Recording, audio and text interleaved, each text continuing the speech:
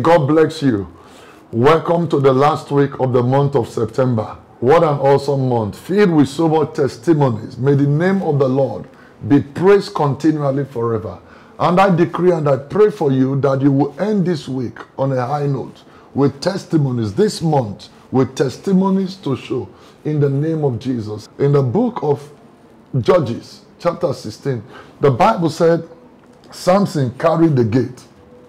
I decree and I declare for you that every gate obstructing your advancement in life, obstructing your advancement maritally, financially, ministry wise, your spiritual life, this week, as you step into this week, that gate is lifted away in the name of Jesus Christ.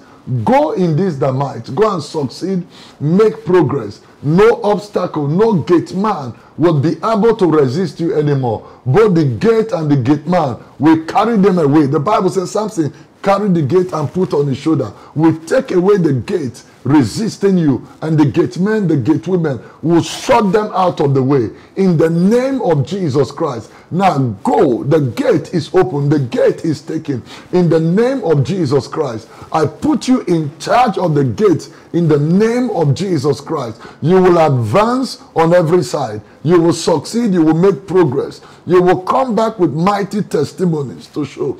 Every gate you've been believing God, for God to open, whether for international open doors, for visas, for ministry, for, for traveling, for settlement in relationship, maritally, this week, get ready. Things are turning around. I see you dancing without music because of the testimony that will come. Get ready. It is your turn, it is your season. Go and succeed. Make progress on every side. In Jesus' mighty name. Amen. God bless you. The Lord keep you. Go in this that might. Come back with mighty testimonies to show. Amen.